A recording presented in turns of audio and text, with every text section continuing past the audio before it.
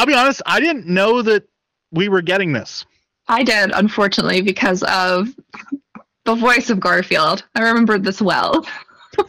so yeah, I just was watching stuff on YouTube and I found oh oh it's a Garfield trailer. Let's watch that. Uh, it's it's Chris Pratt.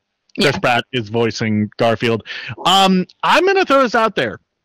A lot of people, a lot of people when this trailer came out, they were memeing on it, being like, "Oh, it's Chris Pratt voicing voicing another character like this," and they were like comparing it to Mario. Chris Pratt voicing Garfield, I think, is a better fit than Chris Pratt voicing Mario. I unfortunately agree. I do think he does uh, decently well here because he's really good at that monotone humor thing that Garfield's already like known for. So it's not the worst thing in the world.